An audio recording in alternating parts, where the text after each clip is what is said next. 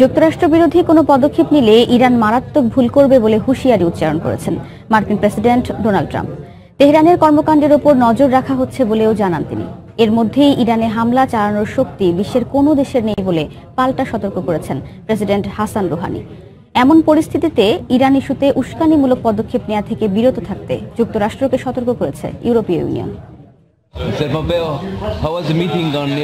পারস্য উপসাগরে যুক্তরাষ্ট্রের যুদ্ধ বিমানবাহী রণতরী মোতায়েনকে কেন্দ্র করে ওয়াশিংটন, তেহরান তীব্র উত্তেজনার মধ্যেই ইউরোপ সফরে গেলেন মার্কিন পররাষ্ট্রমন্ত্রী মাইক পম্পেও। নির্ধারিত মস্কো সফর বিলম্বিত করে সোমবার ব্রাসেলসে ছুটে যান তিনি। ইরানের ওপর চাপ বাড়াতে ইউরোপীয় দেশগুলোকে পাশে পেতেই তার এ সফর। বেলজিয়াম ও নেদারল্যান্ডসের পররাষ্ট্রমন্ত্রীর সঙ্গে বৈঠক করলেও ইরানের পরমাণু চুক্তিতে স্বাক্ষরকারী জার্মানি, ফ্রান্স ও ব্রিটেনের পররাষ্ট্রমন্ত্রীরা পম্পেওর সঙ্গে সাক্ষাৎ করেননি। শেষ পর্যন্ত ইউরোপীয় ইউনিয়নের পররাষ্ট্র নীতি বিষয়ক প্রধান ফেদেরিকা মোঘেরিনি একাই পম্পেওর সঙ্গে বৈঠক করেন। বৈঠক শেষে ইরানের বিরুদ্ধে সামরিক ব্যবস্থা নেওয়ার ব্যাপারে যুক্তরাষ্ট্রকে ইউরোপ ইউনিয়নের পক্ষ থেকে সতর্ক করার কথা জানান মোঘেরিনি. পম্পেওকে আমরা সুস্পষ্টভাবে জানিয়ে দিয়েছি আমরা একটি স্পর্শকাতর নাজুক সময় অতিক্রম করছি। ইউরোপীয় ইউনিয়ন সব সময় সংলাপ ও কূটনৈতিক উপায়ে সব সমস্যার সমাধানে বিশ্বাসী। ইরানের ক্ষেত্রেও একই কাজ করতে হবে। সাময়িক দিক থেকে যে কোনো পদক্ষেপ নেয়ার ক্ষেত্রে সর্বোচ্চ সংযম প্রদর্শন করতে হবে।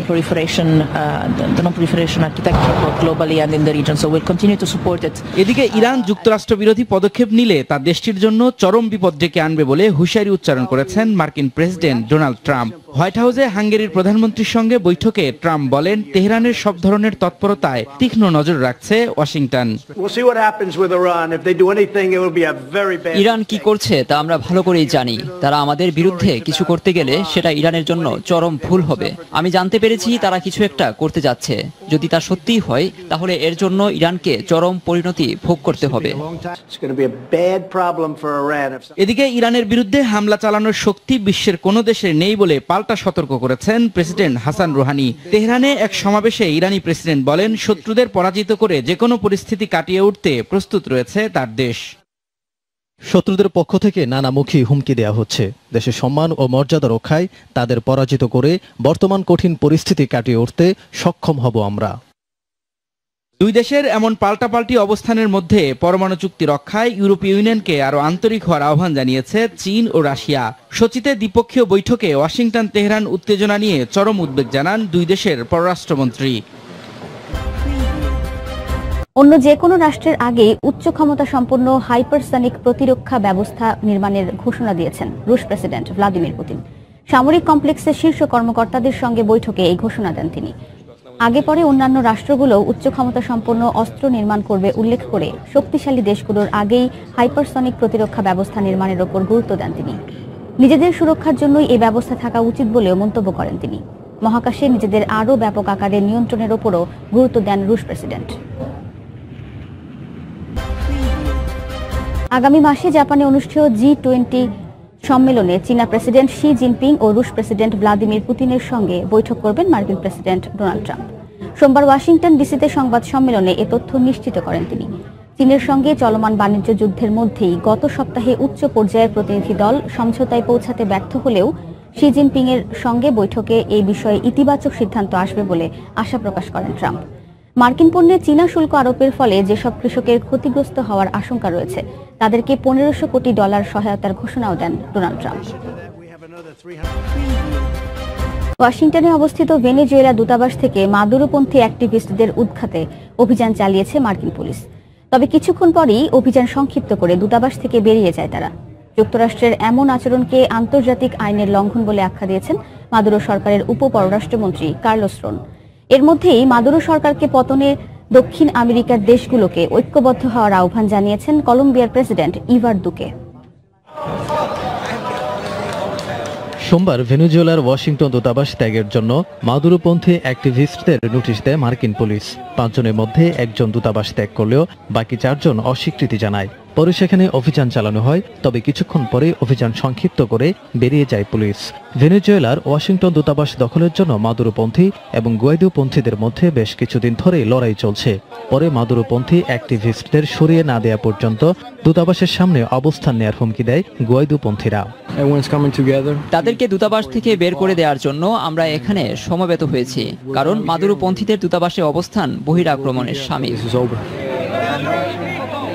গেল দশই এপ্রিল থেকে এই দূতাবাসে অবস্থান করে মাদুরোর পক্ষে জনমত তৈরিতে প্রচারণা চালিয়ে যাচ্ছেন অ্যাক্টিভিস্টরা। যদিও ভেনেজুয়েলার ক্ষমতাসীন প্রেসিডেন্ট নিকোলাস মাদুরোকে ক্ষমতাচ্যুত করতে বিরোধী দলীয় নেতা স্বঘোষিত প্রেসিডেন্ট হুয়ান গুয়াইদুকে সমর্থন দিয়ে যাচ্ছে যুক্তরাষ্ট্র। ভেনেজুয়েলা দূতাবাসে অভিযান চালানো তীব্র সমালোচনা করেছেন মাদুরো সরকারের উপপররাষ্ট্রমন্ত্রী কার্লোস রোন। বলেন, ভেনেজুয়েলা দূতাবাসে অভিযান চালিয়ে আবারও আন্তর্জাতিক আইন লঙ্ঘন করেছে ওয়াশিংটন। এর মধ্যেই ভেনেজুয়েলার স্বৈরা শাসককে হটাতে দক্ষিণ আমেরিকার দেশগুলোর প্রতি আহ্বান জানিয়েছে কলম্বিয়া। মানবিক বিপর্যয় দেখে কেউ চোখ বন্ধ করে থাকতে পারে না। ভেনেজুয়েলা সংকট সমাধানে দেশটির স্বৈর শাসকের পতন নিশ্চিতে দক্ষিণ আমেরিকার মিত্রদের আহ্বান জানাই। কারণ আমরা চাই ভেনেজুয়েলায় সাংবিধানিক সরকার প্রতিষ্ঠিত হোক।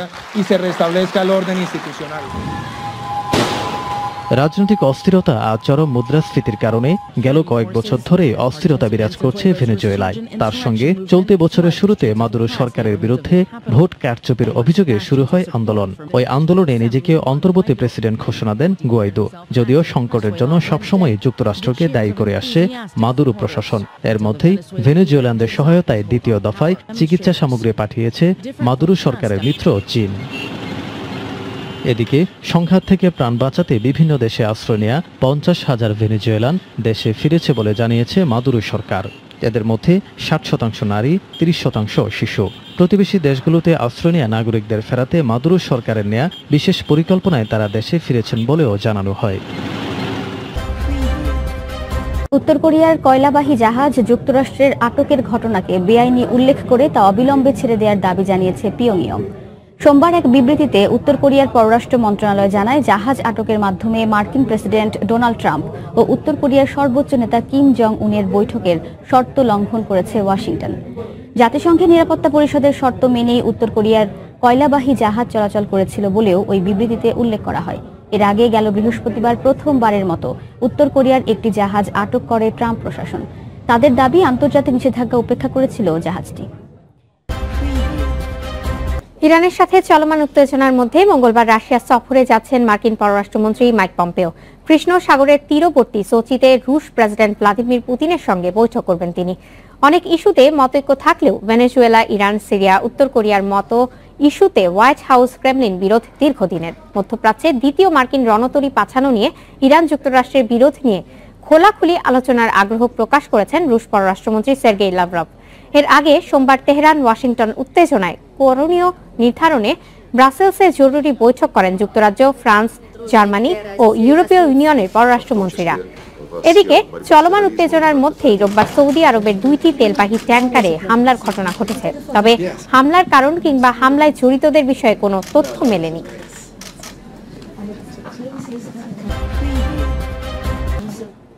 সহিংসতা দীর্ঘায়িত হলে শ্রীলঙ্কার স্থিতিশীলতা হুমকির মুখে পড়বে বলে সতর্ক করেছেন দেশটির প্রধানমন্ত্রী রনিল বিক্রমাসিংহে। দেশের শান্তি বিনষ্টের আশঙ্কাও প্রকাশ করেছেন তিনি। সোমবার জাতির উদ্দেশ্যে দেয়া ভাষণে এসব কথা বলেন বিক্রমাসিংহে। এ সময় লঙ্কান প্রধানমন্ত্রী অভিযোগ করেন, আতঙ্ক সৃষ্টি করে সন্ত্রাসী হামলার তদন্ত থেকে নিরাপত্তা বাহিনীর মনোযোগ সরানোর ষড়যন্ত্র করছে একটি গোষ্ঠী। ইস্টার সানডেতে বোমা হামলার পর দেশ জুড়ে অস্থিরতার মধ্যেই শ্রীলঙ্কার পূর্ব উপকূলীয় শহর চিলাওয়ের কয়েকটি মসজিদ ও মুসলিম মালিকানাধীন দোকানে হামলা হয়। এর জেরে সোমবার দেশজুড়ে রাত্রিকালীন কারফিউ জারি করে দেশটির সরকার।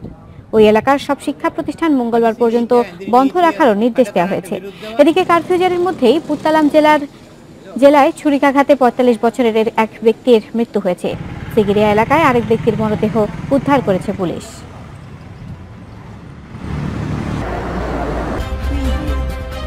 চীনা পণ্যের ওপর যুক্তরাষ্ট্রের শুল্ক আরোপের জবাবে মার্কিন পণ্যে নতুন করে শুল্ক আরোপ করেছে চীন। আগামী পহেলা জুন থেকে ছয় হাজার কোটি ডলার সমমূল্যের মার্কিন পণ্যে নতুন ওই শুল্ক আরোপ কার্যকর হবে। সোমবার চীনের শুল্ক নীতিমালা কমিশন বিষয়ক মন্ত্রী পরিষদ দ্য স্টেট কাউন্সিল এক ঘোষণায় এ তথ্য জানিয়েছে। এ ঘোষণার মাধ্যমে দুই দেশের মধ্যে চলমান বাণিজ্য যুদ্ধ আরও তীব্র রূপ ধারণ করল। বেইজিং এ এক সংবাদ সম্মেলনে চীনের পররাষ্ট্র মন্ত্রণালয়ের মুখপাত্র বলেছেন, বাইরের শক্তির চাপের কাছে চীন কখনোই মাথা নত করবে না। চীনা পণ্যের ওপর যুক্তরাষ্ট্র শুল্ক আরোপ করার তিন দিন পর এই পদক্ষেপ নিল বেইজিং। গত শুক্রবার বিশ হাজার কোটি ডলার সমমূল্যের চীনা পণ্যে পনেরো শতাংশ শুল্ক হার বৃদ্ধি করে যুক্তরাষ্ট্র। এদিকে নতুন করে চীনের শুল্ক আরোপের ঘোষণার কিছু সময়ের মধ্যেই ট্রাম্প এক টুইট বার্তায় লেখেন, চীনের প্রতিবাদ জানানো উচিত হয়নি, পরিস্থিতি এখন আরও খারাপের দিকে গড়াবে।